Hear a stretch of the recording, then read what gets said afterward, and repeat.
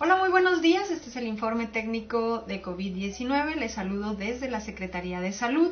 El día de hoy es 23 de noviembre y el comportamiento de esta pandemia al día de hoy nos da 30 casos nuevos con una tasa de incidencia de casos activos en los últimos 14 días de 29.5 por 100.000 habitantes ubicándonos al estado de Chihuahua en el lugar número 7 a nivel del país eh, acercándonos con otros municipios eh, muy a la par de esta tasa de incidencia de casos activos.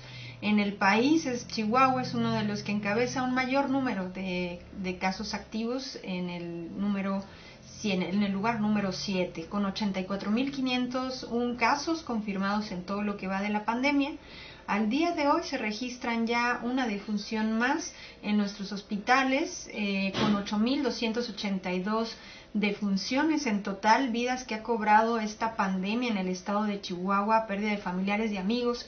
Y creo que eso nos debe de llamar la atención a continuar luchando juntos contra COVID-19. En Chihuahua hemos logrado hacer la diferencia y si en este momento pudiéramos empezar con un mayor número de casos, eh, encabezando también en el estado de Chihuahua un mayor número, creo que podemos hacer una gran diferencia en el que Chihuahua se comporte de una forma diferente y eso con el uso de cubrebocas, con la atención a las medidas preventivas y con todo el compromiso, la voluntad y la esperanza que en Chihuahua ha dedicado a la protección de la vida contra COVID-19.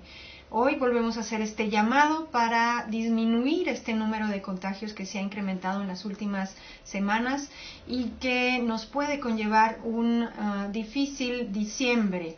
Sabemos que la temporada invernal también nos lleva a tener mayores, mayores infecciones respiratorias, por lo tanto, cuidarse, abrigarse del frío, no exponerse a cambios de temperatura nos ayudará también a mantener estas cifras de hospitalizaciones, no solo de COVID, sino también de neumonía, sino también de influencias, bajo control. De lo contrario, eh, el unir todas estas enfermedades podrá llevar a una saturación de hospitales. Al día de hoy, afortunadamente, en nuestros hospitales aún tenemos una buena capacidad.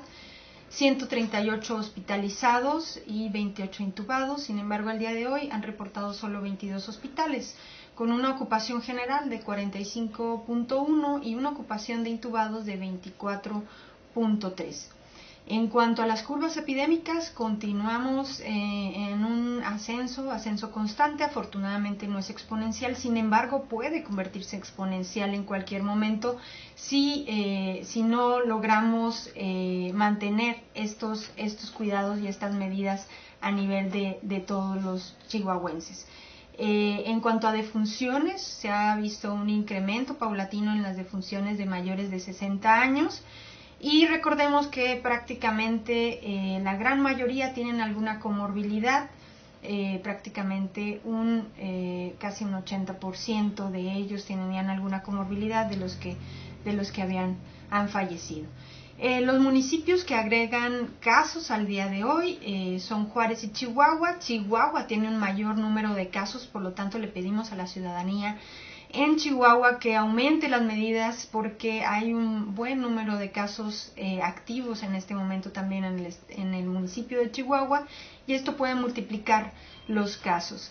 Estaparral, Cuauhtémoc, Delicias, eh, Bocoina, Bocoina ha estado en niveles altos de tasa de, de contagios, por lo que les pedimos que en Bocoina vuelvan a retomar medidas. Guerrero, Namiquipa y Nonuava. En cuanto a las defunciones, se suma en, la, en el municipio de Delicias. Y bien, este es nuestro informe al día de hoy. Los invitamos a la vacunación.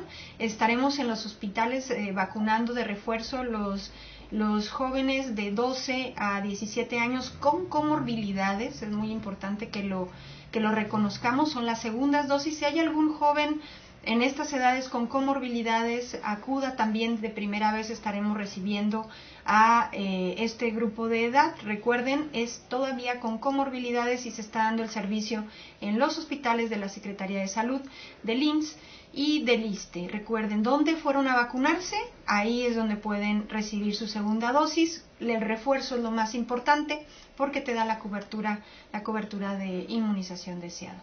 Muy buenos días.